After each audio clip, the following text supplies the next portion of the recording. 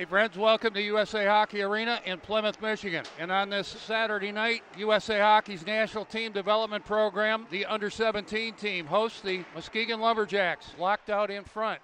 Held in another shot, they score! And I believe it's going to be Spitznagel on the redirect. That all started off the faceoff, and it will be Teddy Spitznagel who scored last night. 1 0 Muskegon. Right wing and over the line, Bruce Callens challenge, and they put it out in front and score. Went right to the net. It's going to be Cooper Pearson. 2 0 Muskegon. Just like last night, absolutely nothing fancy. Go right to the rack, centering feed, and Cooper Pearson out in front, established position, bangs it home with a couple of goals early in the second period.